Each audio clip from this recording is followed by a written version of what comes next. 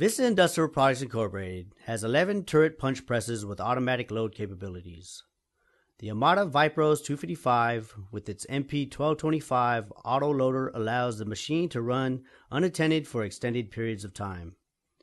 With a maximum sheet size of 50 inches by 100 inches, we are able to nest individual parts with an assembly to save material and production time. Automation with VIP continues in the brake area with four Amada Astro 100 robotic brakes.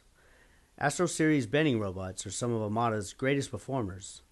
The robotic cell consists of a bending robot, a loading unloading robot, and a FBD 3 press brake. By separating the duties between the robots, the cell can produce parts at approximately 10 seconds per bend. The Astro will exceed an 80% green light on time in most installations. We use MX Win software to program our Astro robots. This software enables virtual manufacturing by providing perfectly scaled 3D interactive solid models.